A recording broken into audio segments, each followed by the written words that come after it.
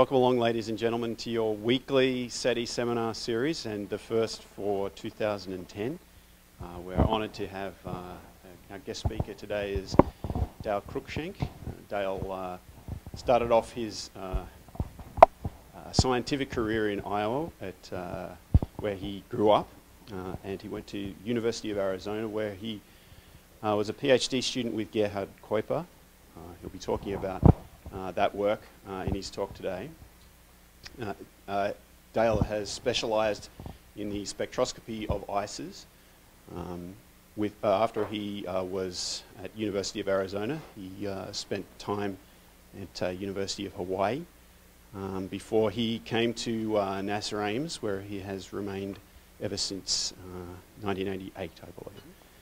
Um, Dale has uh, carved out, a career of uh, looking at ices on small bodies uh, well outside of Earth's orbit, uh, but still within our solar system. And uh, that's what he's going to talk to us uh, today about in his, uh, in his seminar. So if you'll join me in welcoming Dale. Thank you.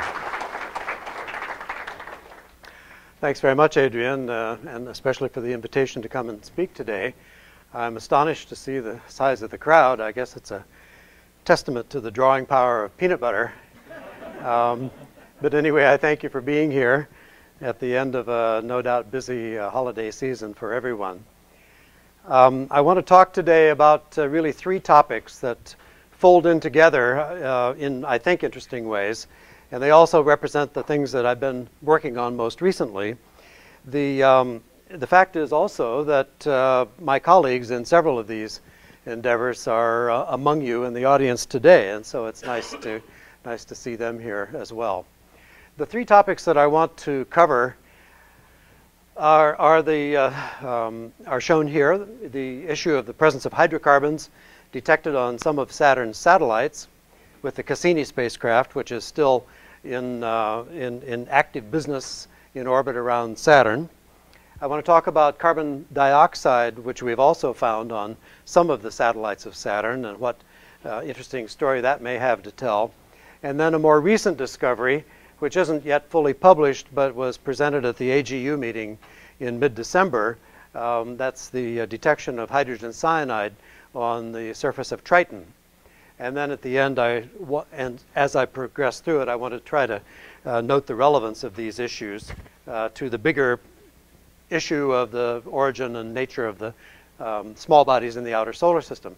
So this is just a, a, real quick inventory sheet of what is meant by small icy bodies in the outer solar system. I'm not going to uh, talk about all of these things, of course. In fact, I've underlined Saturn, Neptune, and I'm not really going to talk about Pluto or the Kuiper Belt objects, although the implications for those I think will become apparent. So the first uh, spectroscopic detections, and by the way, I'm assuming that I don't have to explain spectroscopy to this, this crowd, so uh, we're jumping right in. And by the time I'm finished, you will have seen more spectra than you really want to, but that's kind of our, uh, th that's what I do, and it's the way that I find out what we, what we can uh, discern from the light from these objects. The first uh, detection of anything on any planetary satellite was uh, Kuiper's accidental discovery of methane on Titan, uh, which showed, first of all, there's the presence of gaseous methane, and second, that uh, Titan has an atmosphere. That was the first detection of the atmosphere, um, of an atmosphere of any planetary satellite. And then, uh, and that was in 1944 when Kuiper had a break from work um, related to the, uh, to the war. And then uh, in 1964, I think, published the first spectra of the Galilean satellites, which showed the presence of uh, water ice. So this is a picture of Kuiper at about the time he made this discovery. And um, I've drawn a yellow arrow at the position of the band in this photographic spectrum uh, that shows the presence of CH4 on Titan. You can clearly see the CH4 uh, in the atmosphere of Jupiter and in Saturn. And these are two spectra of Titan, which show a weak absorption there as well. So that was uh, an interesting and important early discovery. Moroz found uh, by uh, moving the spectral range observable from Earth out into the near infrared, Kuiper was doing it at the same time, um, but Moroz was the first one to publish his spectra showing the uh, water ice bands on some of the Galilean satellites. In, in the spectrum of Ganymede here, the, uh, the water ice is evident in this reduced height of the 2.2 micron um, part of the spectrum. These, by the way, all the spectra I'm showing you are spectra of reflected sunlight. So we're in the region of the spectrum where uh, the thermal contribution from the intrinsic heat of the target object is of no consequence. And in Europa, there are three bands here, uh, Moroz publi having published those. Well, the detection of species is, is really very interesting and very important, and it's been um, uh, bread and butter for most of us for a long time. But another point I want to make here today is that we've really begun to move away from, or beyond, I should say, the mere detection of individual molecules. And now we can sort of begin to do some physical chemistry, understanding in, from the spectral data we have uh, the way molecules are attached to one another, uh, the way they interact with the substrate, whatever that might be, and uh, in some cases, as noted at the bottom, we can see processed species, that is material that is not native to the, the object itself. It comes about from the energetic uh, processing either in the atmosphere of the satellite, as in the case of Titan, um, or energetic processing of some of the ices on a more or less airless body surface. And so I'll show examples of some of that as we go along. Well, the Saturn satellite uh, the entire Saturn system is a very complex system, as I think everybody is fully aware, consisting of the planet, rings, in fact, we're still finding new rings, as you may have heard, as well as a, a very uh, interesting family of satellites. I've encircled Iapetus and Phoebe up there because those are two of the ones that I want to talk about briefly here. So the first, uh, the first slide, this slide here shows two spectra um, obtained with the visible infrared mapping spectrometer called VIMS, which is on the Cassini spacecraft. And this spectrometer works in the spectral range of about 0.3 micrometers out to a little bit beyond 5 micrometers. Not all the spectrum is shown here. And that's a part of the spectrum that you can't study from the Earth with, except for uh, some parts being uh, interrupted uh, by the Earth's atmosphere. So with the VIMS instrument, we have a, an opportunity to look at a very broad spectral range without interruptions from the Earth's atmosphere, and also up close to surfaces um, where we can actually get some spatial resolution. We can get spectra, for example, of depending on how close the flyby is of a given satellite or other object, uh, with a spatial resolution of, of a kilometer or so. Back here on Earth, we're constrained basically to seeing one entire hemisphere of one of these small bodies. We can wait for half a rotation period and see the other hemisphere, but we can't get any better spatial resolution for the most part than that. So anyway, uh, spectra here of two of Saturn's satellites. Phoebe, this object shown here with the dimensions and density that, that I've indicated. And in the case of Phoebe, we see very strong indication of water ice. We had actually picked that up from ground-based spectra before, but we see the, the spectrum now in its full extent. Uh, likewise with the spectrum of the uh, low albedo uh, hemisphere of Iapetus, and I won't go into a lot of detail about Iapetus, except I think uh, most of us are aware that this object has uh, basically a hemispheric uh, dichotomy in terms of its brightness. And one hemisphere, that which is in the trailing side as Iapetus makes its way around Saturn, is covered with ice and has a very high reflectivity, whereas the, the forward side, in the apex of its locked synchronous motion around Saturn, has a very low albedo hemisphere. Um, and that material appears to be stuff that has either deposited on there or has been um, left behind as a lag deposit as the ices evaporate. Uh, there are a couple of very interesting papers in, I think, a very recent issue of Science that, uh, that discuss that with a, a, new, a new look at the situation that is uh, very promising. But for our purposes here, I'm interested in primarily the spectral signature and composition of this low albedo material, which is on the, the leading hemisphere of Iapetus in its orbital motion. And you can see the spectrum is quite different. This is this we regard this uh, slope upward with increasing wavelength as red, and so Iapetus is red, uh, Phoebe is gray in the, in the sense that its re spectral reflectance is essentially neutral. The, the color of the sun and all that stuff has been removed from these data. But what I really want to call attention to are two uh, features that show up in the long wavelength part of the spectrum that we really can't observe well at all from the Earth. One is in this region here at about 3.3 micrometers, which is a region where hydrocarbons absorb, and we'll get to that. And then at 4.3 micrometers in round numbers, a region that also we can't observe from the ground, but where we now see in the spectra of both Phoebe and Iapetus the signature of carbon dioxide. So those are the two of the factors that I want to uh, focus on in, in my talk here today because each tells an interesting and different story. Well, in, uh, in the case of Iapetus, we've had a couple of opportunities to fly very close. Uh, one was in 2004, just as the Cassini mission was getting underway at Saturn, and once more recently in September of 2007. There are a couple more flybys scheduled over the next five years, and we all hope those are successful. But what we found was that if we examined very closely this region of the spectrum, which is on a steep slope, so it requires some interesting manipulations, that there is the spectral signature, weak as it is and ragged as the data are, at about 3.3 micrometers, 3.28 I think is the exact central wavelength, and then a hint of some other features over here. And the importance of this is that um, the 3.3 micron band is nicely matched up with uh, the CH stretching mode in aromatic hydrocarbons. We'll get back to aromatics in just a second. But I've shown down here in the bottom the spectrum of a polycyclic aromatic hydrocarbon, or actually a, an average of several, to indicate the position of the 3.3 micron band. Um, over here at slightly longer wavelengths is the region where um, uh, CH stretching modes occur in the aliphatic hydrocarbons. And I'll get to that just in a second as well.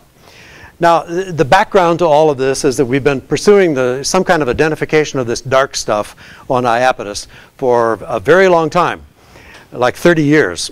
And finally, we have a spectral signature of something that's tangible. And it is weak, and it's, but it's quite certain because it shows up in, in multiple individual data sets. And I think it's quite uh, reliably identified as the presence of at least a modest amount of these hydrocarbons, which we kind of suspected all along just because of the low, low reflectivity and the reddish color, which is characteristic of complex molecular uh, organic complexes. Um, yes, come. The big, big, the big, this one here. Yeah. Well, there, uh, there are two competing things. OH certainly is present, and especially um, even though in this dark material you can't see a, str uh, a, strong signature of water ice, a little bit of water must be there. So this, I think, is a combination of OH as well as H2O. You don't see, for example, the H2O band, ice band, 2 microns. This is principally OH, but it's also possibly NH. The kind of resolution that we have and NH uh, overlap and we can't distinguish between the two.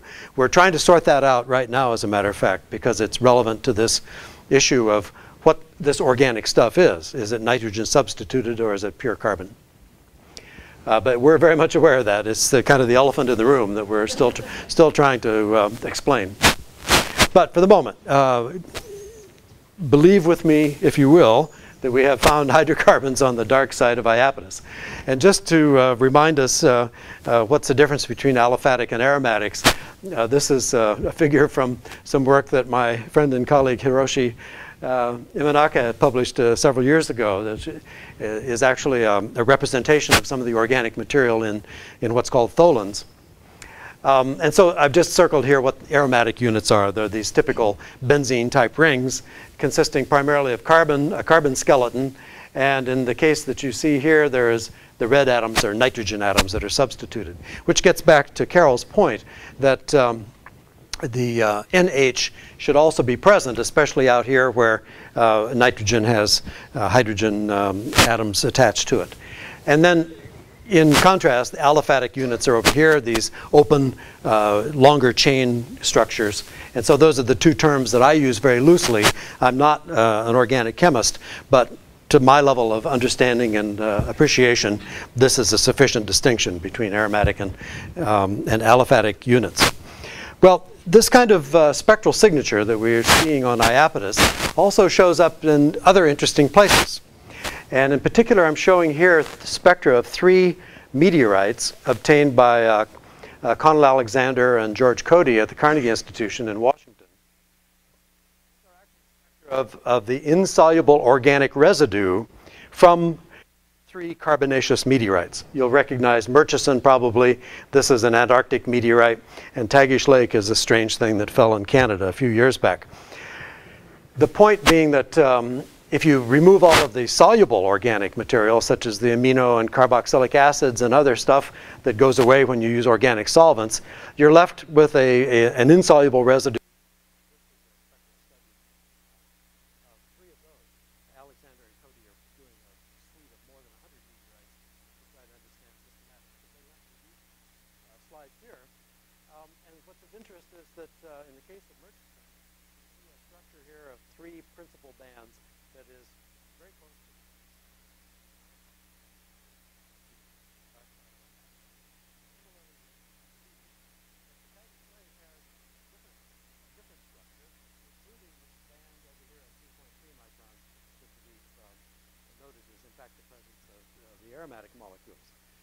Going back then to the Iapetus spectrum here, I think this is from the, the 2007 observations. We see the aromatic region here, the aliphatic region here, and I've lined them up fairly well in wavelength with the Tagish Lake and the Murchison insoluble organic matter. That's the IOM. So this curious situation that we have kind of an unexplainable meteorite that looks similar to Iapetus and the meteorites that we understand better, namely Murchison, uh, don't really look like it that much at all. Well, there's another player in this particular um, um, scenario, and that is the HAC, or hydrogenated amorphous carbon. If you take a, uh, two carbon rods in a, in a chamber uh, full of hydrogen and uh, pass an electric charge through them, it produces soot, which is absorbs the hydrogen and makes hydrogenated that's what the spectrum looks like in this red line here. The beauty of this is this red line here looks, as I'll show you in a moment, very much like um, hydrocarbons in interstellar dust. But if you take the same material then and anneal it up to temperatures of 500, 600 centigrade, um, that material transforms into the aromatic band. And so this is the same sample, but having been heated, and the blue line is now the aromatic stuff. And so I can't help but be intrigued by the similarity of the annealed hydrogenated amorphous carbon, um, which has had a lot of the hydrogen driven off, and the, the carbon atoms have all uh, come together into making their nice aromatic um, networks. Uh, the details of what this all means, uh, so, and, and then the, the hydrogenated amorphous carbon fits that really very well. So there's, there's clearly some connection uh, among these different kinds of organic materials and we're still puzzling um, what that all could possibly mean. So in summary of this issue of hydrocarbons on the Saturn satellites, which is, by the way, a bigger issue, a bigger story than I've shown you here briefly, is that there are hydrocarbons uh, on these satellites similar to some meteorites and to interstellar dust. The similarity to comet organic material is still being explored, but with the stardust samples in hand and other comet data, uh, at least there's a basis now for some comparison. There, there are definite differences.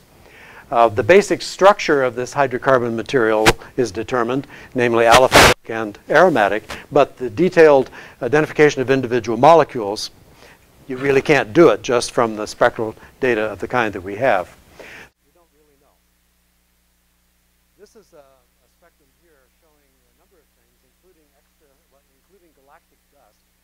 dust in the diffuse interstellar medium along a very long line of sight to some nearby star. And that is the red, uh, the red dots that you see here. And they show that characteristic structure that we saw in the Murchison meteorite. The Murchison meteorite is represented here by the thick line in green, and the fit is really quite good.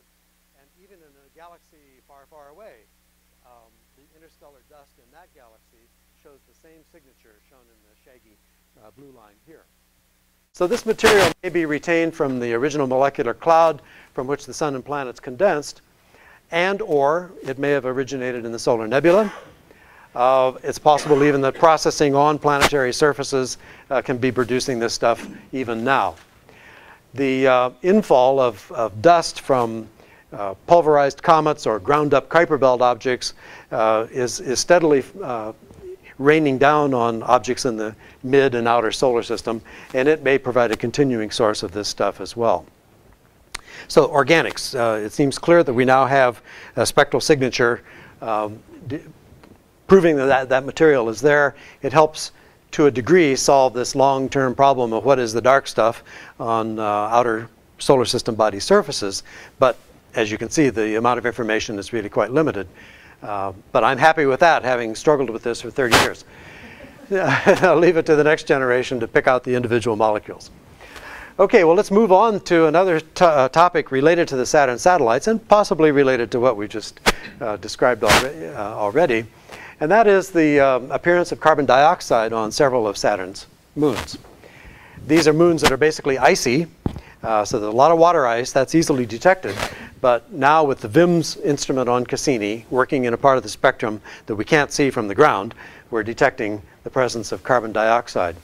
This uh, very simple but uh, delightful, at the same time nasty little molecule that we hear a lot about. Um, so moving on to this, back to the same slide I showed you before, but now I want to call your attention to this spectral feature over here in both Phoebe and Iapetus, uh, which when enlarged uh, shows to be the nu 3 stretching fundamental, asymmetric st stretching fundamental of carbon dioxide. Now, you, you may know, I haven't noticed, I haven't said carbon dioxide, ice, or gas. The temperatures of these satellites are such that you might expect the ice, but not over very long term, because its vapor pressure um, at the temperatures of Saturn satellites is sufficient that it would normally go away in uh, astronomical timescales. But let's, uh, we'll get to that in a second. This is a picture of another one of uh, Saturn's moons. Uh, close up, this is Hyperion, a very strange world in many respects, but I find it especially intriguing that at the bottom of many of its sort of cup-shaped craters, which are not, uh, which may have originated by impact, but they've certainly been modified since. But at the bottom of many of these craters are uh, deposits of low albedo material, and curiously enough, the little craters in that low albedo material are most often rimmed by a white frosty rim of something. Now, the, um, the temperatures of this temperature of this object is about 110, 112 Kelvin. And at that temperature, water is basically a rock. It just doesn't do anything. It is, has such a low vapor pressure that it doesn't move around much. On the other hand, carbon dioxide uh, has a higher vapor pressure and is much more mobile. And I think we've seen in, in instances here in our own neighborhoods where um, morning frost will accumulate in places where it's coldest on the ground. And I think that that's the kind of thing that's happened here as well. That carbon dioxide molecules have been created or liberated or moved around, and they tend to recondense in the coldest places there are. And crater rims are nice cold places because an individual surface element is radiating to a very wide field of view into cold space. And so those tend to get colder. Uh, and that would be a logical place for a, a molecule on the move to uh, settle down and, and condense. So I think, but I can't prove, that these crater rims that are seen in many places in the dark stuff, but also crater rims in the brighter material, are probably carbon dioxide. We do detect carbon dioxide on Hyperion, and I want to explore the spectrum of that just a little bit now. Well, if we plot the, um, the detailed band shapes and band positions of carbon dioxide molecules on four of, of um, the satellites of Saturn where it's been detected. We can see it weakly on one or two others. We find that the band is sort of all over the place. It does not settle down in the exact central wavelength that a similar sample of carbon dioxide, pure carbon dioxide, would if we observe it in the laboratory.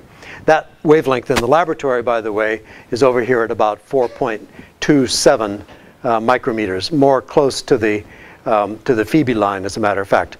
At the VIMS spectral resolution, we can't distinguish, by the way, the um, CO2 signature of, of Phoebe's um, spectrum from uh, pure carbon dioxide in, in the laboratory.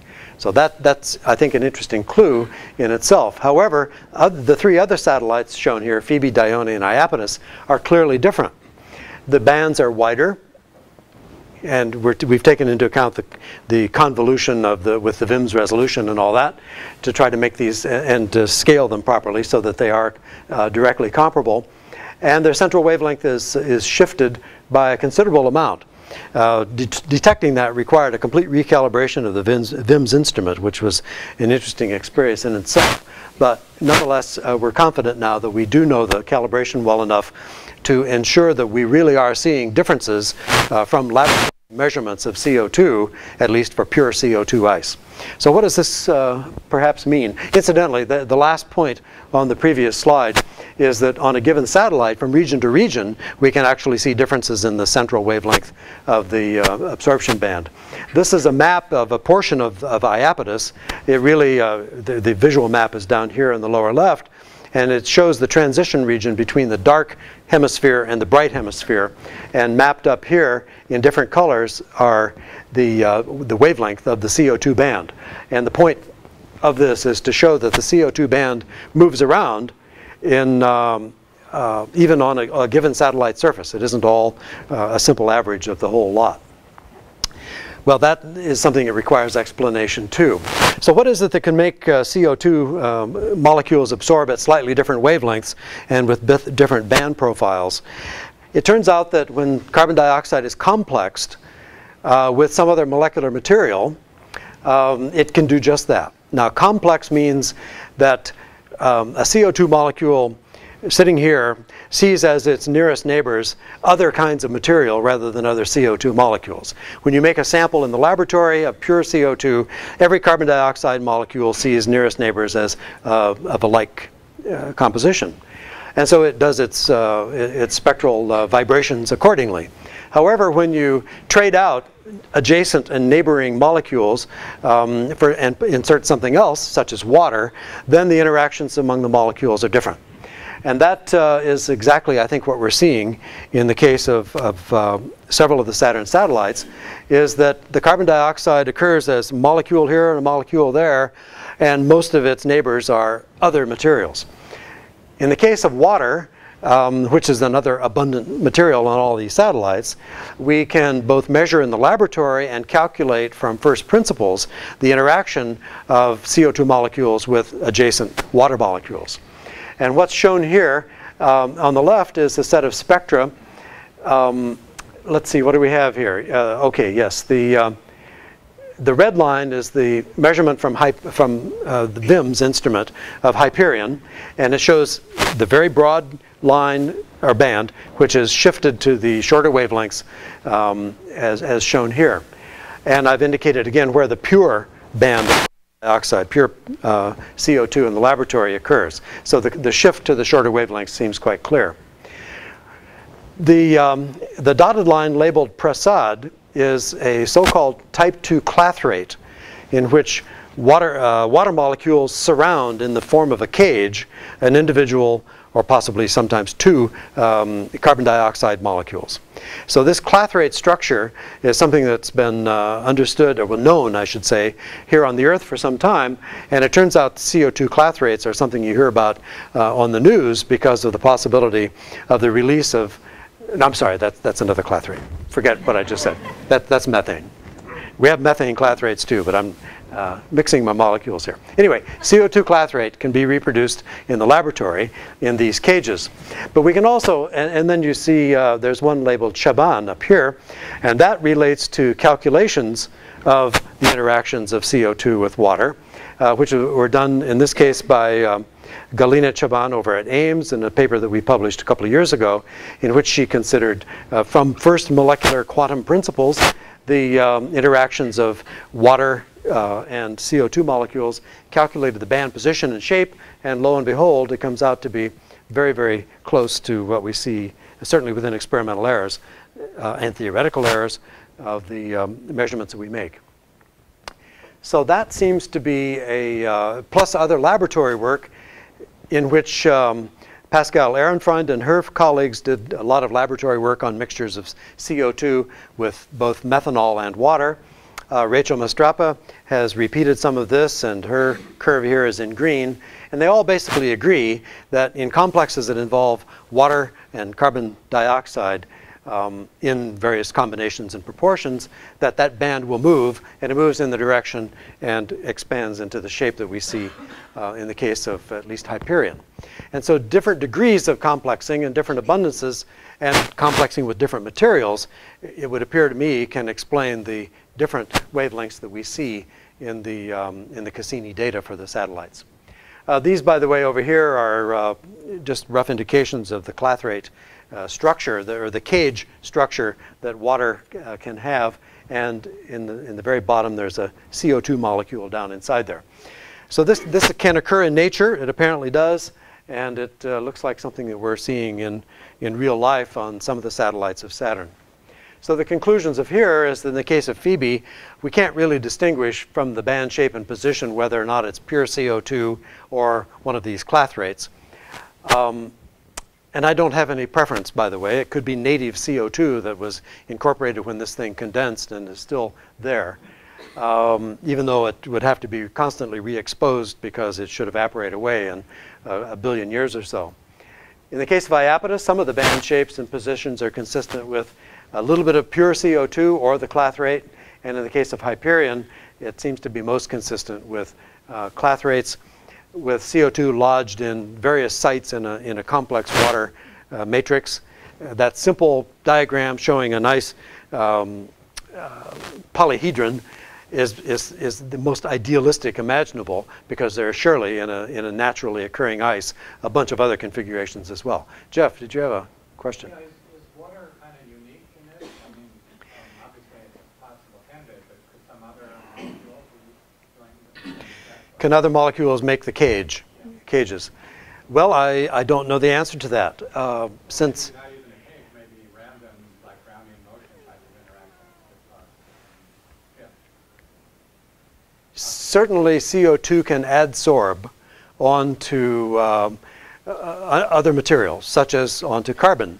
It can adsorb onto uh, in, in certain mineral structures uh, by electric field interactions with isomorphically substituted um, mineral configurations. And some of this work has been done in the lab to see if, if, if water is the only way, in the context of the satellites, if water is the only thing. And the answer is no. Other uh, kinds of, of adsorption processes and adsorption on other materials is, is a possibility. We have a lot of water, so it's, it's a kind of a natural candidate for us to make our first start. But what we've also learned is that spectroscopy with a low resolution spectrometer, even if it's right up there in the front of Iapetus, is still not the way to do this problem because we don't have the kind of spectral resolution that we really need to see these subtle changes. I mean, we can see them, but we can't explore them in the kind of detail that would, I think, distinguish between enclathration with water or um, complexing with other, other material. And you said there was an issue with calibration, right? That's wavelength calibration? Wavelength calibration, yeah. Are you pretty sure that that, that's solved? Yes, in the, in, the, in the region of the CO2 band, it has been solved, but it was an interesting exercise to go back to the original calibration data taken in the lab at JPL when the instrument was first built. Um, but it was, it was all there, and we got it figured out. So, Yeah, one, one. Yes. more quick question. Sure. How, how much is it, this complexing process is easier, uh, is, you know, how depending is on temperature? How does the complexing depend on temperature? Um, unexplored, unexplored. We um, certainly when you when you make a clathrate of CO2 in water in the laboratory, it uh, it doesn't remain in that form uh, beyond a certain temperature as you raise the temperature. Rachel, do you remember how uh, at what temperature the clathrate begins to break down? Stuff comes out. Under vacuum, when you, the water will start sublimating around 170, 100 feet a day, Yeah. and then everything falls apart. Okay, but it hangs on to the CO2 until that point, roughly. If you, once, what I usually, what I usually do is find when at low temperatures, the water's amorphous, and then I heat it up and it crystallizes around 140, 150 K. And Uh-huh. it's relatively stable. Some amount of CO2 is lost at that point, but whatever is in the usually stays, at least in a lab, Mhm. on a laboratory. Okay. How can the CO2 stay if the water crystallizes?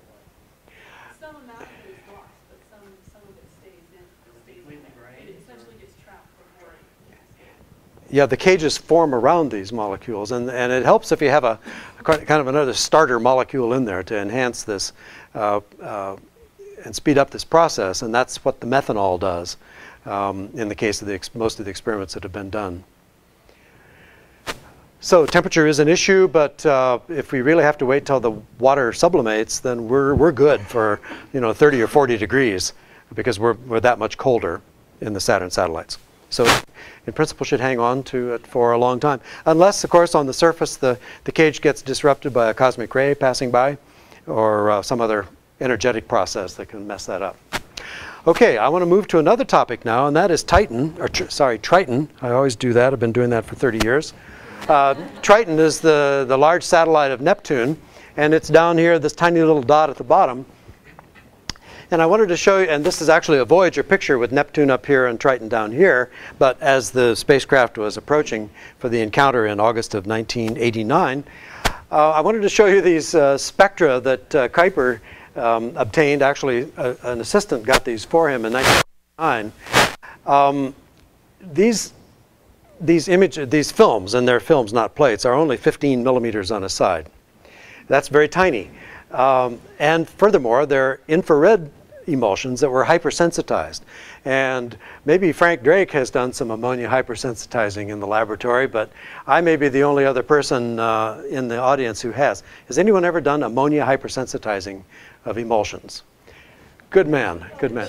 Oh, okay, okay. Well, we're dating ourselves because they don't do this anymore. Um, anyway, it's it's nasty in a dark room with a tray of open ammonium hydroxide, and you're dipping stuff into it. Uh, but anyway, the spectrum down here is the best that was obtained, and then somebody got their fingerprint on it. Uh, which you can see here. So exactly where the, the absorption bands that you might be looking for occur is obscured by some guy's fingerprint. And I think it was the assistant who probably did this.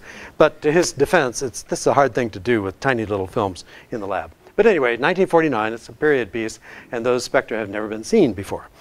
Anyway, um, in 1983, moving out into the near infrared from the ground-based spectroscopy, uh, some colleagues and I discovered uh, uh, nitrogen, molecular nitrogen on Triton, and at first we thought it had to be liquid nitrogen because you don't get this uh, spectral absorption in nitrogen unless you have a very long path length. And the only way we could figure that you could have a path length of tens of centimeters uh, in molecular nitrogen is uh, condensed at the temperature of Triton is if it were liquid. So we thought we had discovered a, a new ocean in the solar system and an ocean of liquid nitrogen on Triton. So Bill Hartmann, um, a friend and a talented astro artist, as you know, um, hopped to and, uh, and uh, painted this picture uh, showing the liquid nitrogen ocean. Well, it wasn't too long after that that we figured out that this couldn't be liquid, the phase diagram and other factors, but you could in fact have nitrogen in the form of very large polyhedral crystals that are also very transparent uh, on the surface of Triton, and that this could produce the absorption band. So Bill and his colleague Ron Miller uh, jointly collaborated on this painting in 1993 to show the new view of Triton's surface. And by the way, four years before we had flown by with Voyager, which did not detect directly nitrogen, but detected circumstantial evidence for it. And this uh, picture, or a portion of it, was used on the cover of the book uh, Neptune and Triton that I edited in 1995. So this, is, uh, this hangs in our hallway at home and as a treasure because it shows not only the, the solid surface of Triton, but these geysers that were discovered by the Voyager spacecraft when we flew by in 89. And those are shown schematically or artistically, I should say, over here on the left. The real uh, evidence for them is, is seen in these uh, Voyager images. And I just bring that up, and I'll make a quick reference to the geysers a little later. But note that they are black stuff and that they blow downwind from a sublimation driven wind coming out of uh, uh, Triton's south polar region, and they leave these dark streaks on the otherwise rather bright icy surface, and those occur all over the south polar region. Uh, a better view of those and the wind direction I've indicated there and the streaks are, are pretty evident. So some, but not all of these are uh, probably active at the time that picture was taken. Well, uh, moving beyond that uh, little fingerprinted spectrum that uh, Kuiper got back in the 40s, uh, we now have a lot more information about Triton and its uh, neighbor Pluto in the near infrared, the same region that a portion of which, well, a portion of this region is the same as the, um, as the VIMS data. And now we can see in the case of Triton, we, we don't worry about Pluto at the moment, a very interesting and rich spectrum which to my eye is a, is, a, is a treasure of art because it shows so much in this limited spectral region of about 1.5 to 2.5 micrometers. We have absorption bands of water, of methane, of uh, carbon dioxide, of nitrogen, that's the band here, as well as uh, methane, more methane, and carbon monoxide. So just in this one stretch of spectrum, you see five different ices and an isotope of uh, the 13CO, which is over in this complex here. So tremendously rich uh, spectrum of Triton as we now look at it in more detail. And what we find is that the, uh, the methane bands, which are very prominent, um, are off-center a little bit. You know, got another one of these misplaced uh, absorption band problems. And it turns out that that arises because the, the methane on Triton is largely dissolved in the nitrogen methane dissolved in nitrogen. It is highly soluble. And so just a few atoms of, or molecules of methane in a big chunky uh, transparent crystal of, of, uh, of, hexagonal phase nitrogen can produce a very strong absorption spectrum, and that's what we see. The nitrogen itself is in uh, the hexagonal beta phase. Uh, if the temperature were 10 degrees lower, it would transform into a cubic phase called alpha. And it does appear to occur in centimeter uh, and multiple centimeter sized grains. Uh, that can be reproduced in the laboratory, by the way. It, it loves to anneal into big crystals. The, the uh, shift in the CO2 or CH4 bands is as much as 10 wave numbers. And that is a so-called matrix shift that uh, physical chemists have known about for a very long time. Again, when you put a molecule of one material in a surrounding of other kinds of materials, the bands change. And it's the same kind of shift that we're seeing in the case of, of water, or of CO2, uh, but a different structural situation. But the matrix shift is, is well known, and we see that clearly in the case of the um, methane bands on Triton. I say it's entirely in the matrix of nitrogen. There may be some that's freestanding uh, CH4 as well. And in the case of Pluto, we can actually see two components in the spectrum, both the part of the CH4 that's dissolved in the methane and the part that is, uh, is essentially free methane ice. So this set of laboratory spectra over here kind of illustrates this, and I won't dwell on it. But here at the top is a methane band at 2.2 microns, which you can see in this when it's diluted in, uh, in nitrogen shifted compared to its pure version. And that's the kind of thing we see all the way down with the spectra now of Triton and Pluto. In fact, I've put a circle around the bottom of this band on Pluto, which is actually a two-component band, and uh, we see the, the two components there superimposed on one another, one caused by the methane dissolved in nitrogen and one uh, by the pure methane. Well, this portion of the of the Triton, so that illustrates, by the way, that we're seeing again a, a level of complexing. Uh, this portion is uh, based on the uh, talk that I gave at the AGU meeting, um, and I think the audience that I had there was about one third this size. So, uh, and in this work, I, am uh, joined by uh, my colleagues Martin Burgdorf, who's here, and, and Cristina Dalle Ore, and other colleagues in JPL in Japan and France. It's a, um, a multinational effort. And this uh, focuses on the detection of a new molecule on, in Triton's spectrum. Um, I showed you those spectra of Triton and uh, Pluto before, and now I'm showing you the same basic data, but with models superimposed. Models calculated from uh, using radiative transfer scattering theory, as well as uh, the optical uh, refractive indices of these materials determined in the laboratory. And the amazing thing is that the models are so good uh, they are especially good addition of some tholin, which uh, my friend Bishun Khare is shown down here on the lower left. He's kind of the father of astronomical tholins. And uh, using tholin information, tholin optical constants that he's derived uh, years ago, by the way, um, these models are really exceptionally good at predicting not only the continuum and albedo levels, but the detailed spectral shape. So anyway, methane and all these other great molecules in the spectra of both uh, Triton and Pluto. Well, the new data represent uh, spectra that are obtained from a, an orbiting uh, telescope, which was uh, launched by the Japanese a few years ago. It was a cryogenic telescope, and now the cryogenic phase is over. But this now opens up a new part of the spectrum that we've never seen before for Triton. And remember, it's just that tiny little faint little dot. Um, so now we have a spectrum that runs all the way from the short wavelength region I showed before out to 5 micrometers. And it is also very, very rich. I've indicated the general positions of the molecules that absorb. Some of these, of course, most of these are known from the shorter wavelength uh, study done before. But the new one that jumps out is over here at about 4.8 microns, a little bit shy of that, and that is identified as hydrogen cyanide.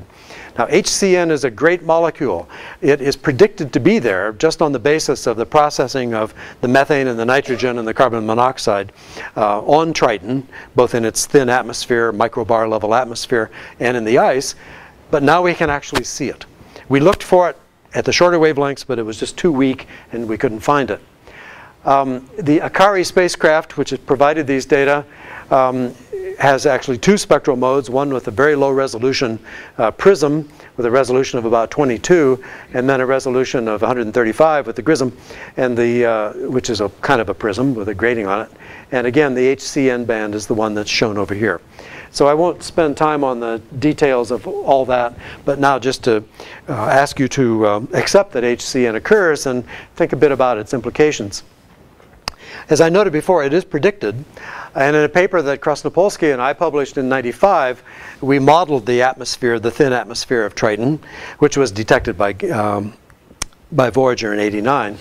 And we deduced that uh, the parent species sublime from the surface because of the fi their finite vapor pressures, and that the photolysis of that thin atmosphere, mainly below 50 kilometers, by uh, ultraviolet light, both from the interstellar medium and from the sun, produces other molecules, such as the C2 hydrocarbons and also HCN.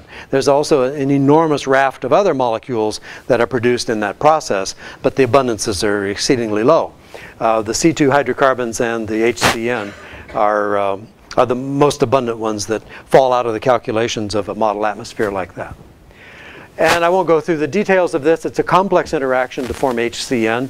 And this model may not be exactly correct. Um, one of the things missing in a lot of uh, photochemical models are the rate constants for the individual reaction uh, reactions that occur in the reaction chain to get to your, your final product.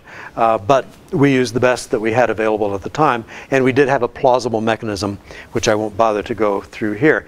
Delitsky and Thompson also did a similar study earlier and reached basically the same conclusion. But in addition to the formation of HCN in a, in a thin atmosphere around Triton, you can process the ice directly and produce HCN in that as well. And in uh, laboratory work done by Moore and Hudson, published recently, they irradiated uh, with, with fairly low energy protons a mixture of ammonia, uh, sorry, of uh, nitrogen and methane, and produced HCN, uh, clearly detected in their spectra, as well as the isomer of that, the HNC. And then they worked out the reaction pathways and so on um, and tried to do a temperature study and, and such. They found the, uh, the, apparent, the occurrence of other nitriles. Uh, HCN is a nitrile, which is, simply indicates that the, the, uh, the nitrogen is bonded with a, with a triple bond to the hydrogen. Um, or in the, yeah, the, the carbon, sorry, in this case. And um, other nitriles, as well as one of interest to the interstellar spectroscopists as well, called OCN minus, which um, has been identified in the interstellar uh, ices. Well, now, HCN is a very important molecule because it's a kind of gateway to a lot of reactions and products that are of interest in the astrobiological sense. Now, whether or not these kinds of reactions can occur at, uh, at 38 Kelvin is another matter, but there may be places on Triton that are warmer than that. And so I just put up this uh, slightly fuzzy slide to remind us of the ways that uh, HCN can interact with uh, energy and with other molecules to produce glycine, amino acids, polypeptides, pyrimidines, porphyrins, and purines, and all these interesting uh, things in between. So I think that the detection of a, of a photo product of native materials opens up an interesting possibility that we shouldn't overlook, that uh, Triton is a, is a place of potential astrobiological interest. So briefly a profile of Triton, and this kind of bears on why it's relevant to uh, other objects in the solar system. It's comparable in size to Pluto and Eris, uh, objects that are in the, the trans-Neptunian or cis-Neptunian uh, part of the solar system. It has a geologically young surface uh, that's active uh, in the case of these geysers that are emerging from some kind of vents and depositing dark stuff on the surface. It has a thin atmosphere with a photochemical haze and uh, icy surface uh, containing these five ices that I mentioned before, plus the recently uh, discovered and shown here HCN. There may be changes in the color and spectrum of Triton on a timescale of years, further testifying to its sort of current activity, and it's probably a captured Kuiper belt object. Uh, the reason we say that is because it's in a, in a, uh, a retrograde orbit around Neptune that is circular, and uh, so the capture of, of Triton by an early Neptune is the most plausible way that uh, Triton comes to be where it is.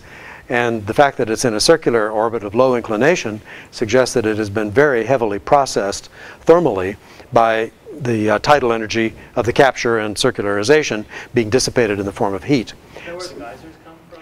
Well, all of that should have happened long ago, and that should have been, you know, a dead issue, and and things have, um, you know, hell should have frozen over by now. but it looks, for some reason, like there is some kind of residual energy source in the interior that can mobilize at least some material producing these ejections uh, that we see in the in the data. And that then brings me to the interesting possibility that that dark stuff coming out um, could possibly be a polymer of HCN.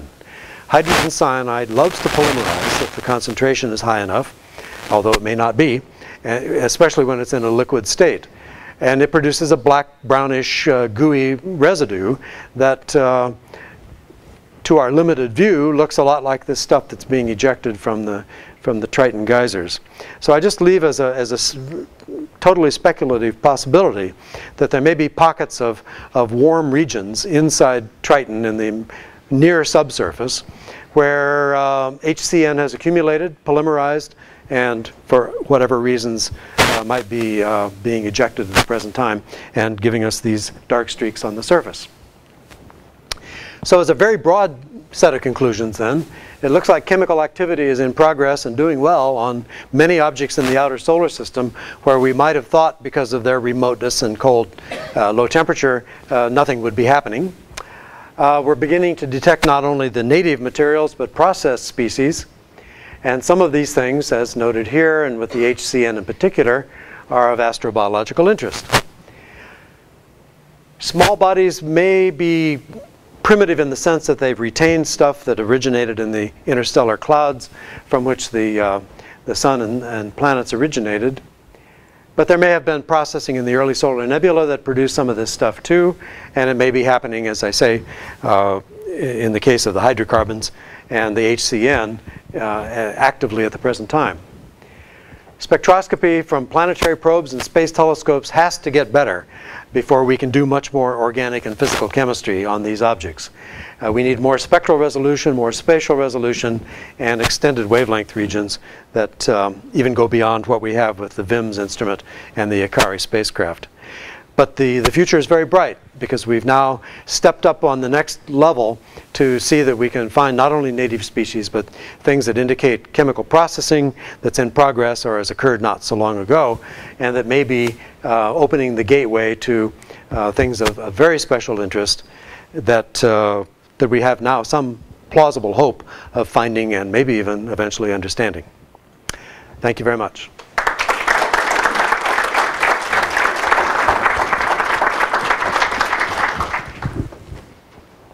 Down. Uh, if I could uh, start off the, the questions. Um, uh, are there, is uh, Iapetus the only place where you see the 3.3 micron uh, no. Uh, in small cell No, it isn't. We see it uh, clearly on Phoebe, and we see um, hints of it on a couple of other, on, on Hyperion, in the low albedo material of Hyperion. And there's a natural tendency to try to connect all these things in terms of the distribution and the origin of it. We're not there yet, but we do at least detect the signatures in, uh, in two other objects. And any evidence for silicates, uh, pyroxene, or uh, any one micron bands um, that, that you see in these in? Well, there are spectral features all the way from 0.3 microns up to about 1 point, well, let's say 2.5 microns uh, seen in the VIMS data that are unexplained. And people are working on that. And certainly silicates were the first things to come to mind. Uh, Roger Clark, who is a VIMS spectroscopist, is working on the possibility that some of this is iron nanophase, uh, iron, neutral iron, and iron oxides. Uh, but the answer is we do not have any definitive uh, identification of a silicate, although the story is still not complete.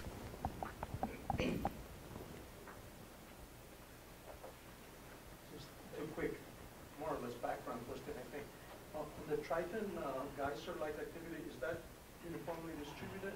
And uh, the second question was, uh, if- on the Iapetus story, now that they have found this ring around Phoebe, uh, what is sort of like, the- so there is a direct en- endogenic connection between Iapetus and that dust.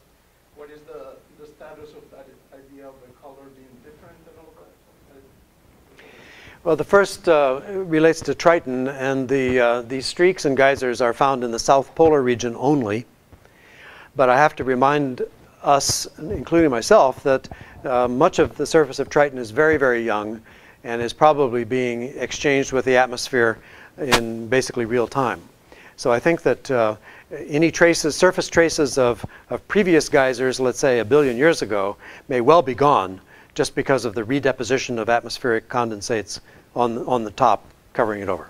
So at the present time, we see this only in the South Pole, and the direction of the tails is, is consistent with the sublimation-driven wind at sort of maximum summer, which we are at uh, now in, uh, in the South Pole of, of Triton. And on the Iapetus thing, um, So the question was, now there is a clear connection between the dust uh, coming from. uh, yeah, where did it come from? Yeah. Yeah, so now that there's that that has to end up in Iapetus, how do you explain the, the differences that have been pointed out over a long time? Well, the current uh, new model or new ideas about Iapetus indicate that um, uh, Iapetus might have started out as a completely icy surface, but with uh, tiny particles of soot entrained in that ice. And that some puff of dark material came from an external source, possibly Phoebe, deposited on the leading hemisphere as it moves, and that then triggered a thermal evolution of the surface that resulted in the evaporation of this uh, soot-bearing ice and the redeposition of the, uh, the ice molecules elsewhere, leaving the soot behind as a lag deposit. So the idea is that if the, um, and the imaging people claim that they can see a reddish material and a blackish material on Triton, uh, sorry, on uh, Iapetus, and that uh, one may be the trigger material and the other may be the residue from the evaporation and redeposition of the ice elsewhere. It's sort of the best idea on the street, but it's only been on the street for two weeks. So it's so we're working on it. I think that the, the simple answer to your question is that we don't yet um, have a satisfactory, fully accepted answer for how it got started or what. But the idea of a thermal uh, redistribution is, is a pretty, uh, pretty compelling one. It's, it's something to work with. Yes. Thank you, Del, for this talk. Um, the detection of HCN on Triton is very interesting, and I'm, I'm, I wonder if have you used this, the same telescopes to observe Pluto uh, or gr- large Trans-Neptunian object, and have you seen the HCN detection as well? It's my understanding that there are Pluto data that have been acquired with this telescope or will be, but we haven't seen them yet. Um, uh, Martin, do you know if the Pluto data exist? Yeah, they will come in a few months. Yeah. So HCN will not be detectable with New Horizon, right? Because That's correct. Yeah, that's- H, uh, the New Horizons going to Pluto covers a different part of the spectrum, and so we can't see this. It's only ground-based telescope. Yeah. uh, a comment and a quick question to which I think there's an obvious answer that I don't know. One is uh, it's very interesting that you found uh, uh, uh, HCN polymer You know, if you've gone to enough astrobiology meetings, you know that Cliff Matthews always gives a paper telling that that is the source of all good things. and in fact, you have a slide that shows, yeah, that's right. It is the source of all good things purines, purines, pyrimidines, amino acids, and all the rest. Uh, it sort of brings us to a nice closure on that. Uh, the question is, uh, it must be obvious, why isn't ammonia a player in all this? Yes. Well, let me first comment about the HCN, and, and I do not contend that we've actually detected the polymer. We've detected the molecule in the frozen state, and the, the step toward polymerization is one that uh, may occur and may not. I mean, we see dirty stuff on the surface that may or may not be connected to the, the polymer of HCN. Um, I'm, of course, aware of, of Cliff Matthews' uh, promotion of HCN polymer as the, the, the world's greatest uh, substance. And um, I'm, I'm hopeful that we will get a better idea of that. But at the moment, Frank, I think we have to back off from, uh, from the polymer idea as just speculation at this point. Um, and ammonia, yes. Why don't we see ammonia? We've uh, astronomers have been chasing ammonia all over the solar system, as you may know, and it's a very tough one, but it's a very desirable but difficult molecule. It's desirable because in an ice mixture it lowers the melting temperature and may account for how some kinds of interiors of icy bodies can remain slushy. But once it gets to the surface, it's immediately attacked and destroyed by uh, solar, um, solar ultraviolet. So it can't reside on, a, on an exposed surface where we could see it for long enough for us to catch a glimpse, for the most part. Now there are some reports, so basically there are no clear um, indications of ammonia at all on Triton or Pluto. However, on a couple of uh, other more distant objects, namely Pluto's satellite Charon, there's a band that has been reasonably securely identified as, the, um, as a hydrate of ammonia. Ammonium hydrate uh, has a band that, and it may be more stable over astronomical time periods than pure ammonia. Or it may indicate that there's some kind of activity that's bringing it from the interior to the surface. So one of the, satellite, uh, one of the satellites of Pluto, and uh, also one or two of the trans-Neptunian objects that have names I can't remember. So ammonia is, uh, is desirable, but it's a problem, and it's really tough to find. We have not found any, any clear evidence on any of the Saturn satellites of ammonia, uh, but there's an instrumental issue that, um, that may be thwarting us on that.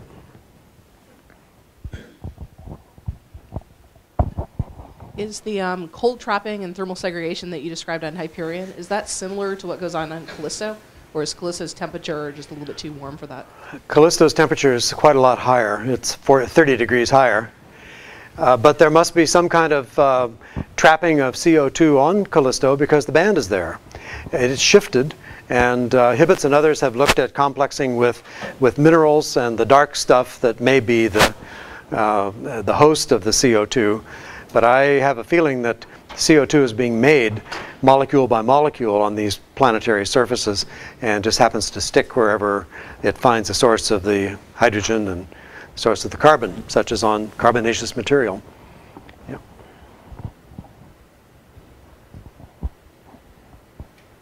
Just to follow up the question on that, where does the band fall for Callisto? Where, do, where does the Callisto band Where fall? Callisto band fall It is shifted. the other four? It is shifted. No, to the four, and, and, yeah, but how, I mean, you showed a plot. Yeah. where You had the, you showed how much the band was shifted for Hmm. the four objects that, You know, there's a calibration issue with NIMS on the Galileo that disco discovered that as well. And uh, the resolution is lower uh, to start with, so I don't think we can answer that, but it is clearly shifted. So don't know the, the about amount yet. Yes, Hiroshi. So any comments about the isotope of carbon monoxide on Triton? You mentioned. Uh, I did mention the 13CO on Triton. It also occurs on Pluto. The problem is in trying to analyze that is that there's an ethane band that falls exactly at that same wavelength. Now we would love to find ethane, uh, but the fact that the bands are coincident makes it difficult to disentangle them. If we assume that the 13 to 12 carbon ratio is the same on Pluto and Triton as it is here on the Earth, then some of that band must be ethane because the, the CO, 13CO isn't strong enough to reproduce the band. And there must be an ethane component. But we really need good spectra to longer wavelengths where the other ethane bands occur uh, that are less, uh, not so interfered with by, say, methane and other alkanes. Um, but we don't have those data yet clearly. Uh, now, the new Akari spectrum of, of Triton that I showed, we need to analyze that for ethane as well. And I think that that may give a clearer view of whether or not ethane actually occurs on Triton than we presently have. But that isotope issue is complicated by the, the uh, coincidence of an ethane band right on top of it. So any other isotopes of uh, HCN or? No, not so far. Uh, possibly the, the OCN minus, that uh, isonitrile uh, adjacent to it, that, that's sufficiently separated. And there is structure in the Triton spectrum at the region of the OCN minus. Uh, we need to work on that as well. So I know it's not going to help with Triton and Pluto, but do the longer wavelengths provided by the Cassini-CIRS instrument help with uh, the studies of Phoebe and Iapetus? Only in the sense that they are, um, uh, they allow us to do thermal studies of the, um, uh, of, of the black body spectrum basically, to get the temperature and also to see the, the temperature, um, that is the, the thermal inertia of the surface layer, because we sometimes see these things go into and out of eclipse, so the temperatures, uh, temperature changes. So the, th the CIRS people are using their data in the far infrared, mid to far infrared, not for spectroscopy, but instead for studies of the thermal properties of the surfaces. We can't see any bands in those regions um, of the spectrum with the CIRS data so far. That's also because they're very broadband. It's a very broadband Mhm. instrument. True. Correct. Yes. True. So, um, uh, is there scope for an instrument on SOFIA, perhaps covering the five to fifteen micron region, to look for a, conf- a confirmation bands for these other these molecules? Yes, we can do quite a bit from SOFIA, but we still have some CO2 above the airplane, so we're not going to find CO2 with that, uh, be able to study that very well. Um, so residual CO2 and water above SOFIA may, may complicate it, but we need to look at that in detail line by line. Well, if there's no further questions, Dale, uh, as a token of our gratitude for you coming along as a, as a SETI Institute pin, you do Ah, thank you. Well, if, as long as this is worth less than about $5, I can accept it, but uh, We, as we my... can say it is, even though we. As my civil servant colleagues know, it's uh, otherwise uh, a felony for me to accept it. So thank you, thank you.